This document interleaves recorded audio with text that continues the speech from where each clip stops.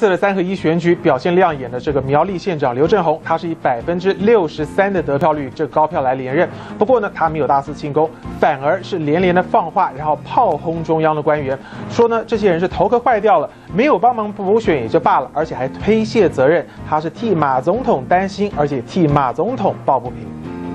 连任成功的第一个上班日，苗栗县长刘正宏依旧没有当选的喜悦，继续炮轰中央官员。经经济部长讲说，浮选不是他们的专业，不是他的专业。那二零一二年马总统万一有状，二零一二年马总统都是有状况的话，他们有部长可以做吗？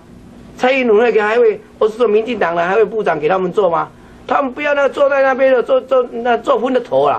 刘正宏稳坐县长的宝座，杠上中央官员，双方隔空交火。他更炮轰中央官员，简直是头壳坏掉了。面对二零一二倒数计时，他更是替马总统担心了起来。